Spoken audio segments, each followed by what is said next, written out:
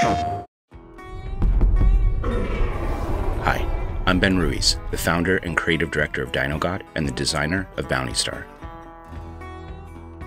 Bounty Star is a game about a broken but powerful ex soldier, now a bounty hunter, in a post post apocalyptic American desert. Her name is Clem, and she's trying to start a new life in a place far from home, traumatized from a profound mistake she made at the end of her military career. One half of the gameplay experience is a third person action game shooting mechanics in which Clem is bringing in her marks, dead or alive, in her customizable infantry mech. Throughout the experience, the players will obtain all kinds of exciting mech weaponry and utilities and use them against increasingly bigger and badder foes.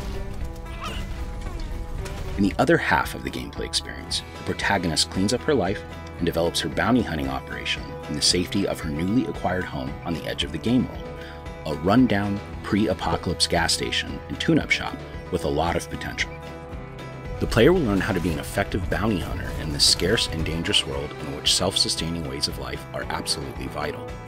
She will grow and obtain food and use it to cook meals that enhance her focus in different ways.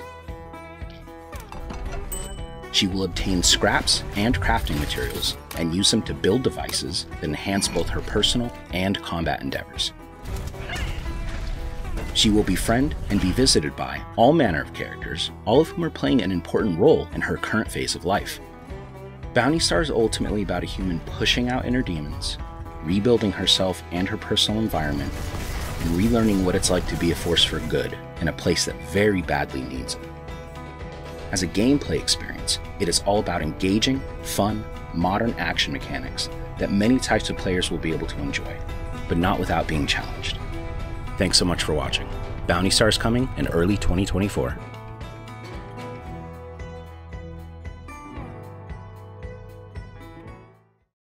PlayStation